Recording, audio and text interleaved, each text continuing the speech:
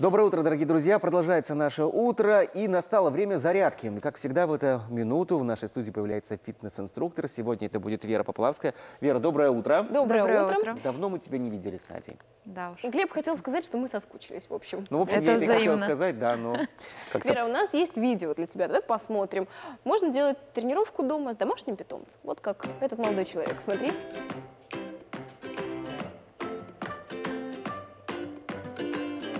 Так. Отлично. Утяжелитель такой.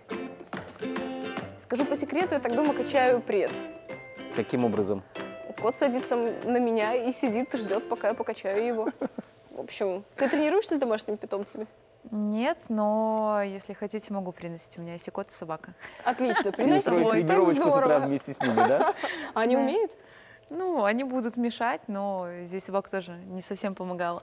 Отлично. Мне очень нравится такой вид разминки. Ну, тем не менее, сегодня питомцев нет. Ты говорила, у нас будет растяжка. Да, Показывай. сегодня мы порастягиваемся, порастягиваем ноги.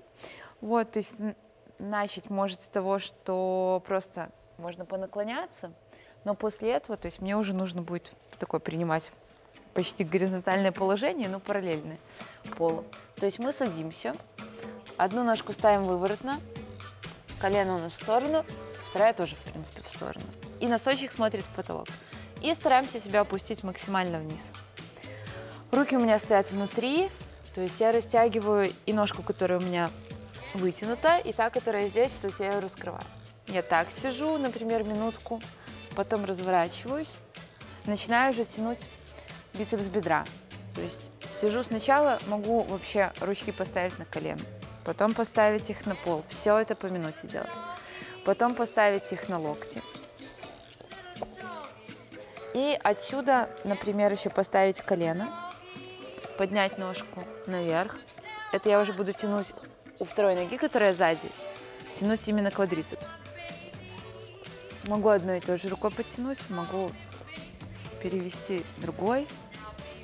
Потом все это возвращаю, то же самое, локти, руки наверх, возвращаюсь в середину и делаю все то же самое в другую сторону, то есть опять в сторону.